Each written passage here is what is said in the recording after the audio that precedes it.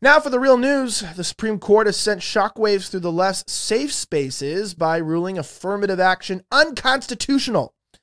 In this unconstitutional uh, or constitutional mic drop, the court told universities that their race based admissions were essentially expired coupons for victimhood, no longer valid.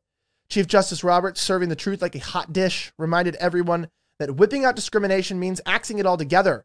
Meanwhile, President Biden, seemingly fueled by liberal tears, urged colleges to ignore the ruling. What? We just dropped the Constitution off the lost and found now?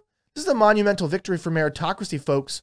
The court is telling colleges to dust off their old friend's fairness from the back shelf. The left is sobbing about diversity, but what happened to the diversifying based on accomplishments and not skin color? That's all I've got. Get the rest by tapping the link in bio.